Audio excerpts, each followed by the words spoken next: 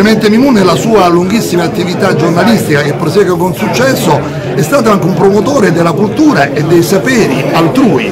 La letteratura, i libri, il cinema, la musica hanno trovato e trovano grande spazio nella sua attività di direttore, quindi non è soltanto lui stesso un autore di sapere, di informazione e di cultura, ma neanche un promotore,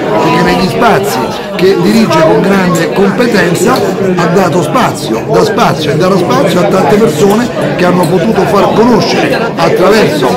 le sue attività i loro prodotti culturali che hanno bisogno di tutela soprattutto in una fase di saccheggio digitale dei contenuti autoriali che invece vanno salvaguardati e promossi.